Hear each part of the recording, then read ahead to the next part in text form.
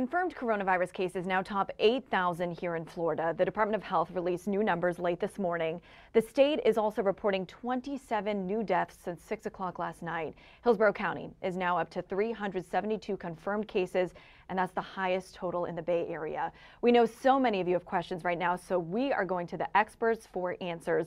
Joining us right now is Dr. Lockwood. He's the Senior Vice President of USF Health and the Dean of the USF Health Morsani College of Medicine. Doctor, thank you so much for joining us. I know you are so busy right now, but we have a lot of questions we're hoping you can help us answer. A lot of medical experts, including you, are saying that you need to assume that everyone is infected. And this may be a hard idea to grasp, especially if you're someone who is following those social distancing guidelines to a T. So, why is this so imperative? Well, so the test we use currently to, to identify patients that are infected is an RNA test. It's what we call a nucleic acid test. And it only detects patients that are actively infected. So they have to be shedding the virus. Um, and it's not the, the most sensitive test. So there, there's still a fair number of patients who test negative who are still infected. And that's probably about 30%. And has to do with the way we extract the, the virus from the nose and the mouth when we do the swab and so forth. Um, secondly, we're only testing the sickest patients, right? We're telling people to come in if they're older and, and have comorbidities, they have diabetes or heart disease or uh, lung disease or they're hospitalized. So we're not telling folks that are mildly symptomatic to come in. And then um, a lot of folks are infected and never show any symptoms. We're now reporting that to be about 25% of folks in the United States, but it's probably much higher. In Iceland, where they did much more aggressive testing, it was about 50%. And we think in China, it may have been as high as 86%. So probably half of patients um, we don't even know are infected or infected. Now, turns out they're less infectious. Um, they have about half the rate of conducting the infection to other folks, but they still can infect people. So it, it, it, you have to assume everybody's infected, keep social distancing. Uh, if you want to wear a mask in public, do that. Uh, wear a bandana, whatever you want. Wash your hands frequently, but assume every every surface you touch in public is infected and everybody you meet in public is infected.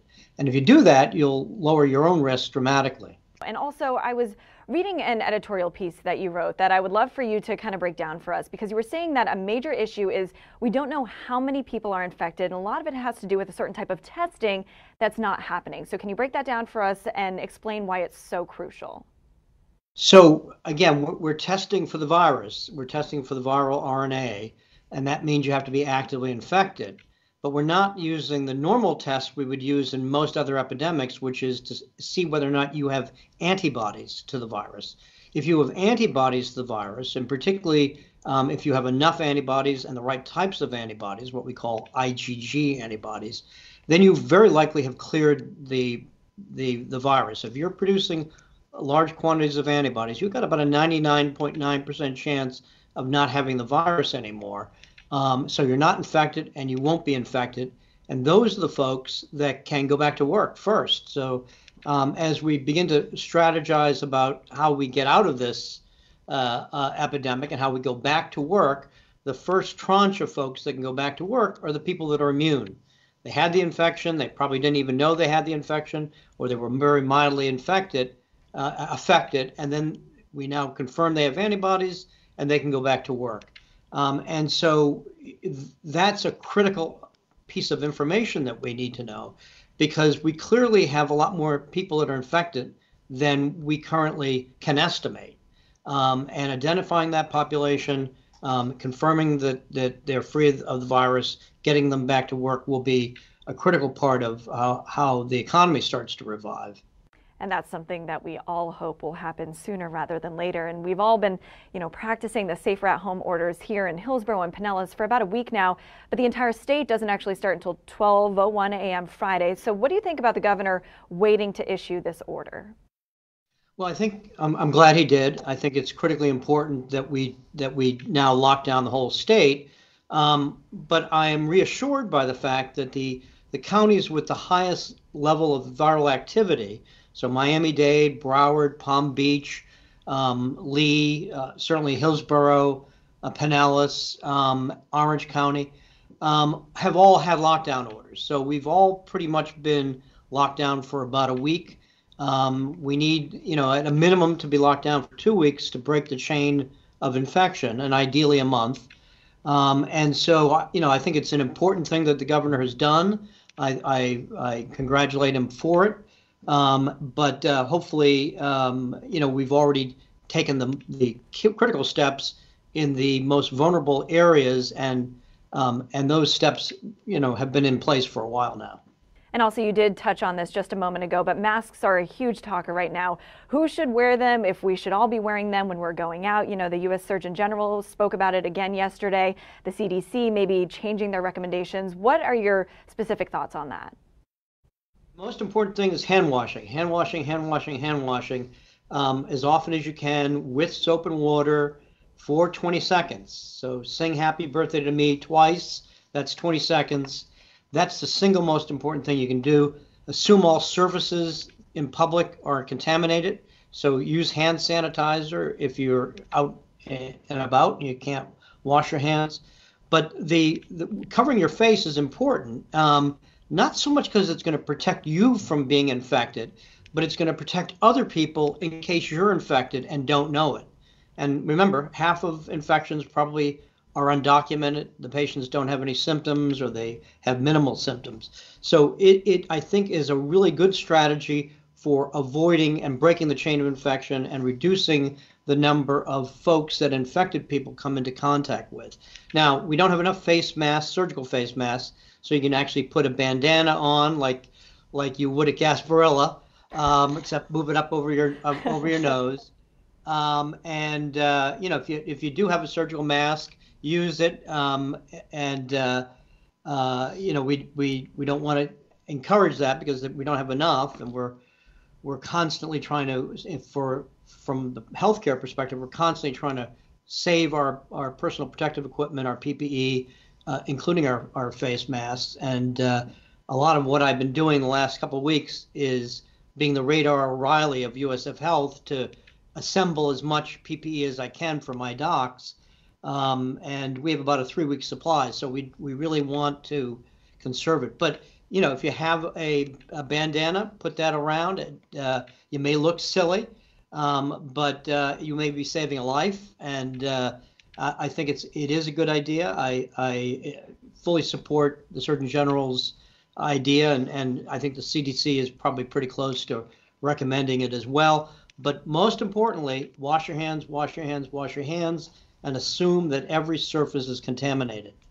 Not going to lie, I don't want to put my hands on anything right now thinking about that. It's crazy to think how many people could, you know, be infected and just not know it. And not to get ahead of ourselves here, but there's a lot of talk about resurgence in the fall, and I know that has a lot of people pretty concerned. So is this something we're going to have to come to expect every year? Um, well, yes and no. I, I think that it's likely that we will see a resurgence. I expect that as we get into the summer months, because of ultraviolet light, because of the heat and, and humidity, the virus will begin to to uh, be less um, contagious. It will spread at a much slower rate, um, and that's something that's been observed with coronaviruses and influenza and other viruses. Um, so we, we do anticipate that. It certainly seems that, that the infection in China occurred within a very narrow latitude band of you know kind of colder areas and not in more southern and more humid areas of China. So there's the anticipation that we'll get better in summer, but of course South America and Africa are going to go into their winter seasons and the virus will pick up activity there. Then as we go back into our cold season, um, and it'll start to come back um, into North America. Now, hopefully, we'll be ready for it with all kinds of tests, much better testing, much more available testing, much better public health, uh, contact sourcing, contact tracing, isolation of the patients.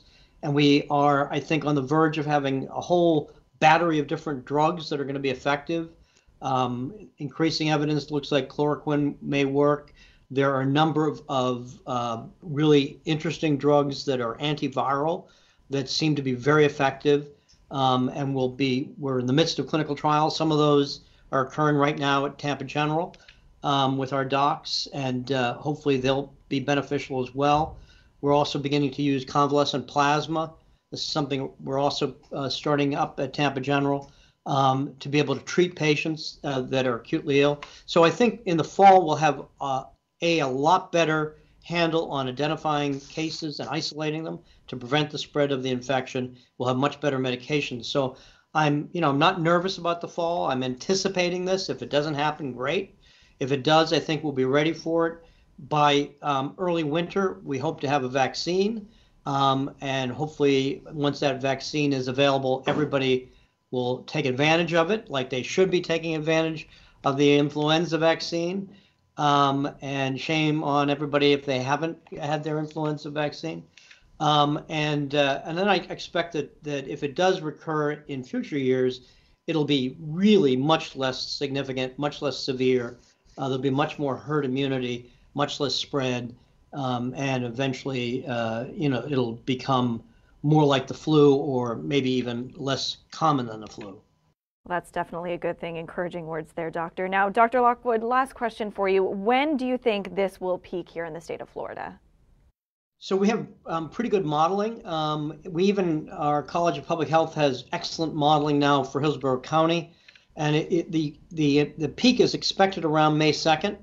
Um, may occur a little bit sooner than that, but uh, based on our current trends, particularly in Hillsborough County, we think we'll be in pretty good shape. The the rate of increase in Hillsborough has not been remotely similar to what's happened in places like New York. Um, and we believe that it will not overwhelm the number of beds and ICUs um, and ventilators that we have. And so that that curve we think has already is being flattened and will continue to be flattened.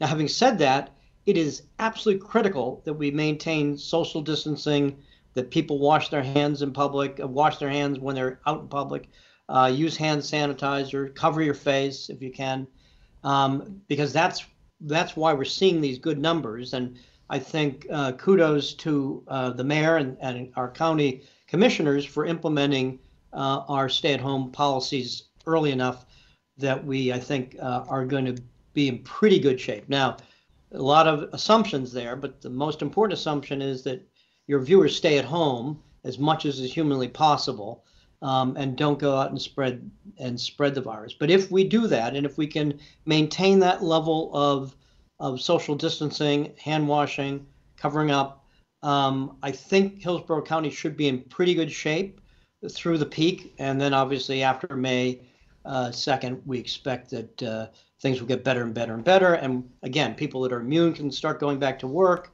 Then, as the R value, the, the, the number that everybody talks about as an indicator of, of infectiousness, as that drops less than one, when one person doesn't even infect one person, then um, the non-immune healthy folks can go back, and then finally, in uh, in a few more weeks or a month um, after that, the more vulnerable folks can go back. So you know, I, the we definitely see the light at the end of the tunnel in Hillsborough. I'm still worried about uh, Miami-Dade, Broward, and Palm Beach, particularly uh, Miami and uh, Broward. But um, but I think uh, we probably will be able to avoid uh, any kind of catastrophic overburdening of the uh, hospitals in Hillsborough County if we can just keep everybody at home. Very glad to hear that, Doctor. Thank you so much. We have another rough month ahead, but like the doctor just said, we, there is a light at the end of the tunnel. We appreciate all of your insight and you joining us. Thanks so much.